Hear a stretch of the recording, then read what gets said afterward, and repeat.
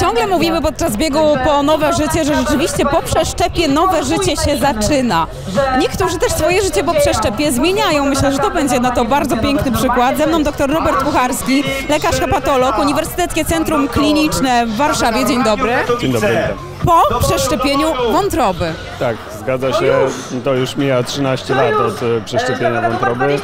Akurat moje przeszczepienie było w Szczecinie, a później przeniosłem się do Warszawy już do pracy.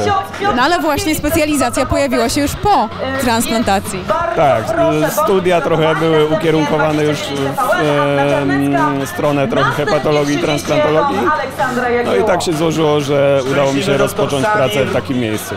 E, Myślę sobie, że to jest bardzo ciekawe i chyba ważne doświadczenie e, z punktu widzenia Pana jako lekarza, bo Pan też był po tej stronie pacjenta.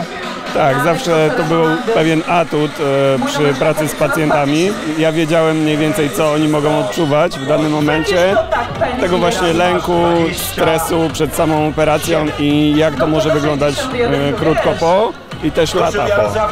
No właśnie, to jest myślę bardzo cenne z punktu widzenia pacjenta, który trochę wchodzi w ten świat, e, dowiaduje się, że czeka go transplantacja i trochę nie ma pojęcia, co dalej, co z tym zrobić, nie wie, jak e, ma sobie z tym poradzić rodzina, jak taki zabieg wygląda, więc lekarz, który był, to i jest tam nadal, bo przecież to zmienia życie do końca jego trwania, jest chyba na wagę złota. Tak, to e, faktycznie ja sobie przypominam taką rozmowę, gdzie e, rodzice jednego pacjenta mm, myśleli, że po transplantacji to będzie poruszanie się na wózku, jakaś specjalna opieka i wiele, wiele rzeczy.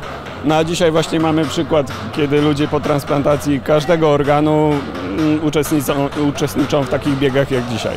I pokazują na tych trasach to, że mają tyle energii, bo wyniki wykręcają takie, e, że osoby, które są zdrowe i nigdy w życiu nie przeszły takiej operacji, nie są w stanie ich często dogonić. Tak, te mis, e, olimpijskie igrzyska dla osób po transplantacji też pokazują, jaka jest ta siła mm, ludzi po. Ja myślę, że cały czas musimy jednak pracować nad tym, żeby ta świadomość była coraz większa, żeby docierać nie tylko dla młodych e, osób, które mam wrażenie, że wśród młodych jest ta świadomość e, coraz większa, ale jednak rodzice e, czy nasi dziadkowie, jakbyśmy się ustawili, no to jednak w nich ta świadomość jest trochę mniejsza i to tam musimy kierować swoje kroki.